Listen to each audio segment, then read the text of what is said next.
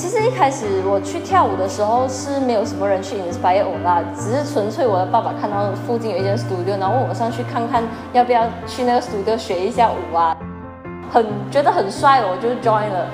其实我刚开始认识她，她是我的学妹，她是一个蛮属于 passions、蛮积极的人，因为她当她一接触舞蹈，她就很积极的想要去学习更多，想要懂得更多。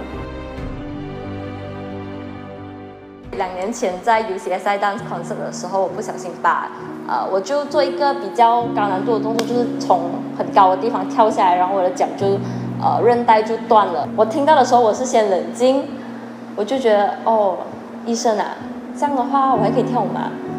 然后就讲跳舞不能跳舞啦，跳什么？你这样子的话肯定会受伤了以后。然后我到了晚上，我就真的是很崩溃的在那边哭。我。将来本来已经设定好的道路被人家切了一刀，那个时候是不能跳 gymnastic 的时候，我真的是切了一刀。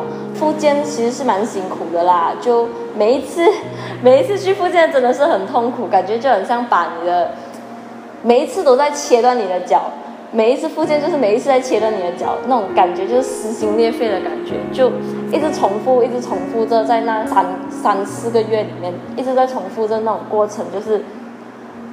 你真的不知道要怎么样去，你真的不知道要怎么去反抗，可是你必须要去承受这些痛苦，你才可以以后才可能可能可以跳回舞蹈这样的东西。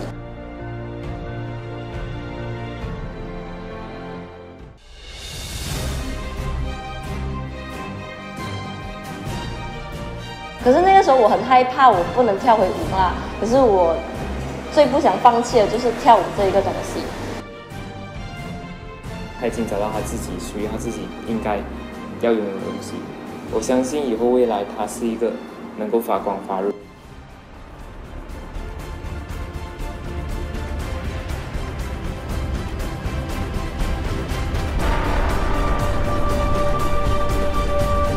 有一件事情我可以做一辈子的，那就是跳舞。这件事情既然我可以做一辈子，我就要去做一辈子。然后每一个人可能就可以去想一想。到底什么事情是你可以做一辈子的？这件事情必定会对你的生命有所意义。